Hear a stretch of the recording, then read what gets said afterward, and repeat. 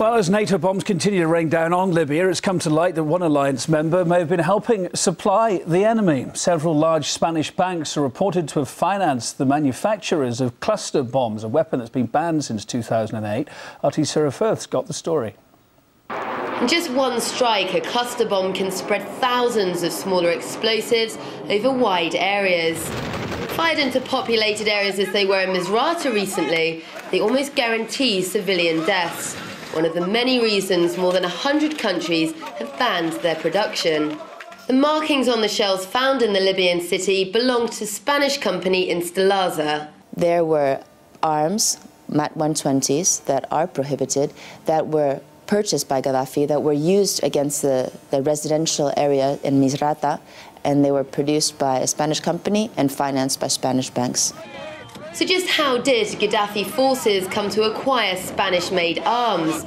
Well, in 2007, Instalaza made the most of the lifting of arms sanctions against Libya as the Tripoli regime fell back into favour with the West. Spanish company won a contract to supply Gaddafi's forces with their cluster munitions and did so until 2008 when Spain signed up to the International Convention banning their use. With Libya now once again the enemy, Spain, as part of NATO, finds itself fighting a regime that it itself helped to arm. And the trail goes back much further to Spanish banks, which provided the financial firepower to Instalaza to make their deadly weapons of war.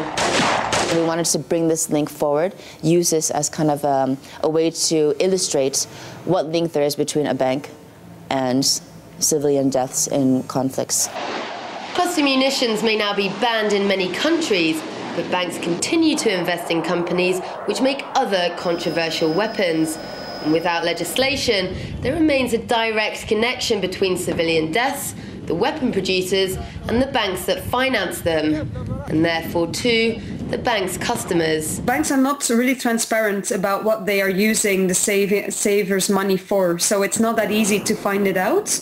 A recent report by Spanish NGO SETEM revealed that as many as 14 banks in Spain are involved with funding weapons producers.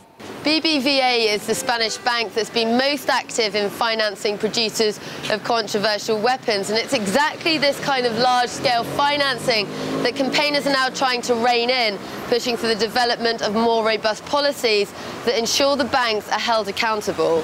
Many of the banks named in the investigation are now coming forward to say their policies on funding arms production are to change with or without legislation. But until that happens, in the murky world of arms production, war remains a profitable business. Sarah Firth, RT, Madrid.